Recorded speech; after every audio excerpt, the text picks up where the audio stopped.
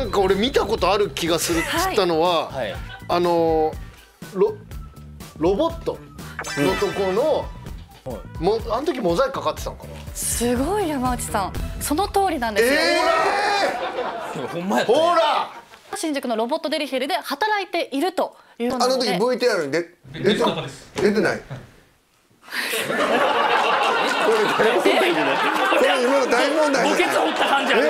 えええこれちょっと今の整理しますか？この番組で一回ロボットデリヘルっていうのを特集しました。たんですねはい。その時にはい。ロボットデリヘルの VTR に出てた女の子だって今おっしゃいましたよね。ね。でも出てないってことですよね。でもこのロボットデリヘルの VTR に出てないのに彼女がロボットデリヘルではいはい。働いてるってことははい。あの特集を見てロボットデリヘルに行ってロボットデリヘルで会ってるやん